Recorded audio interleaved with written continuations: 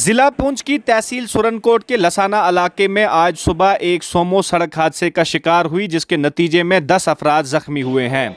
सरकारी जराया के मुताबिक एक टाटा सोमो अपर लसाना से सुरनकोट की जानब जा रही थी। जब लसाना जियारत के पास ये गाड़ी पहुँचती है तो बेकाबू हो जाती है, जिसके नतीजे में सड़क हादसे का शिकार होती है और दस अफराद इसमें ज़ख्मी होते हैं।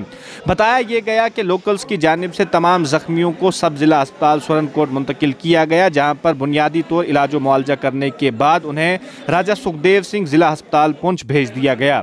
Medical superintendent district hospital Poonch doctor Zulfar Ali ने बताया कि इनमें से एक को गवर्नमेंट मेडिकल कॉलेज रजौरी मुंतकिल किया गया है ताकि उसकी एडवांस ट्रीटमेंट हो सके। चार अभी भी जिला अस्पताल पुंछ में अंडर ऑब्जर्वेशन है और बाकी पाँच का इलाज करके उन्हें डिस्चार्ज कर दिया गया है। वहीं station house officer Surankote Rajesh Thapa ने बताया कि पुलिस ने मामले का कॉग्निजेंस ले लिया है। देखिए पुंछ टाइम्स की ये रिपोर्ट।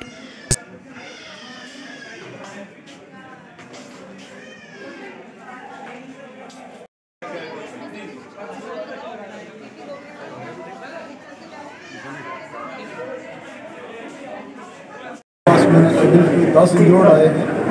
ये सुना है कि लसाना में किसी टाटा सुमो का एक्सीडेंट हुआ है। वहाँ से शिफ्ट करके लाए हैं। अभी हमारे पास जो दस इंजर्ड आए हैं उनमें से तीन केस ऐसे हैं जिनको थोड़ी सीरियस टाइप की इंजरीज हैं। जैसे एक स्पाइनल इंजरी है, एक हिप इंजरी है, एक को मल्टीपल ट्रामा है। तो बाकी जो सेवन हैं, उनको सॉफ्ट इंजरीज हैं। फ़र्स्ट एड इस पर दी जा रही है नर्सिंग अदर नेसेसरी चीज़ें उसके बाद एक घंटे के बाद डॉक्टर जो है दोबारा असेस करेंगे। उसके बाद हम डिसाइड कर पाएँगे कि किसी को नेचर ऑफ़ इंजरी क्या है या और कौन सी इन्वेस्टिगेशन चाहिए। अभी तक जो हमारा फ़र्स्ट एड प्रोवाइड की जा रही है और डॉक्टर की फ़र्स्ट असेसमेंट है इसमें अभी रेफर के कम कोई केस नहीं है। तो कितने पेशेंट हैं टोटल टोटल दस केस आए हैं हमारे पास। जिनमें कहा तीन थोड़े से सीरियस इंजरी के हैं और सेवन जो है सॉफ्ट इंजरी